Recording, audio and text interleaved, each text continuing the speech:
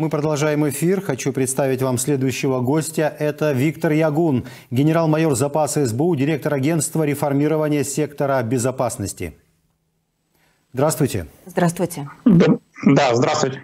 Хотел бы начать разговор с прекрасной новости. Сегодня утром воздушные силы Украины всего за 18 минут сбили 4 ударных российских вертолета. По предварительным данным, это вертолеты К-52 «Аллигатор», которые россияне называют летающими танками. И, к слову, они очень гордятся ними. Да? А вот такой результат, о чем он говорит?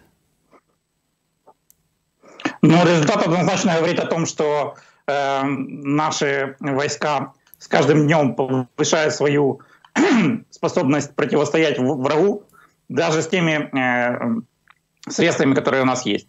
Э, кстати, в, этом же, в этот же э, эпизод можно и включить то, что во время массированного ракетного удара по Украине один из наших бойцов, используя зенитно-ракетный комплекс «Стингер», переносной э, зенитно-ракетный комплекс, уничтожил две крылатые ракеты – это тоже говорит про профессионализм наших военных и то, что они используют оружие, которое нам передали партнеры, даже в таких, в таких вещах, которые, наверное, сами конструкторы не могли себе представить.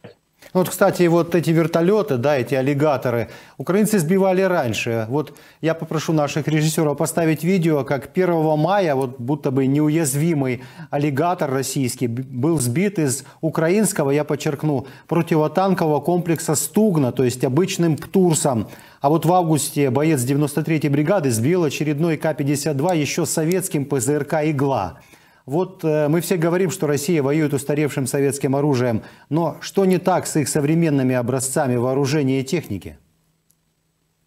Э, надо, надо понимать, что на самом деле проблема не столько в технике, сколько э, уже теперь в профессионализме тех, кто воюет с нами. Мы все-таки перелопатили основную массу профессионалов, которые пришли к нам 24 февраля.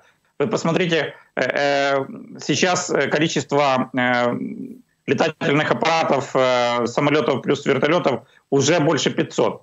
То есть э, это э, реально, не говорю, что все летчики погибли, но основная масса из них уже теперь не, не смогут никогда летать. Поэтому я думаю, что и летают сейчас там какие-то вторые звенья, там, не знаю, там курсантов, пенсионеров они пытались садить на самолеты. А подготовить профессионального летчика, который может принимать активное участие в боевых действиях, это очень э, сложный процесс. И ни одного дня, и ни, ни, ни одного года.